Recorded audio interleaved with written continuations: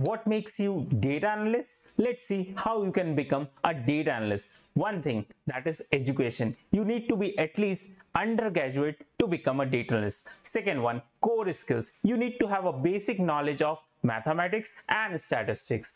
Third one business domain knowledge. It is one of the important mm, factor or important requirement to become a data analyst. You should be aware of business domain be it e-commerce health finance. You should be aware of businesses how businesses run fourth one programming language you should be aware of any one programming language be it java python or i would prefer to go with a python because it's an easy one and widely used across fifth one you need to be excel proficient so Excel, why Excel? Because you're going to get a data normally in CSVs in Excel format and you can do quick analysis if you know what is Excel and the Excel formulas.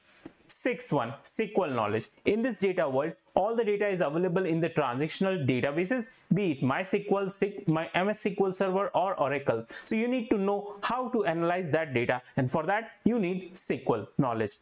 Seventh, data analysis technique you should be aware of what is exploratory data analysis what is missing values what is outlier so you should be aware of all these terms and how to work on these terms eighth one data visualization. Data visualization is important factor in data analytics. So you should be aware of any of the tool like power bi or tableau to become a data analytics.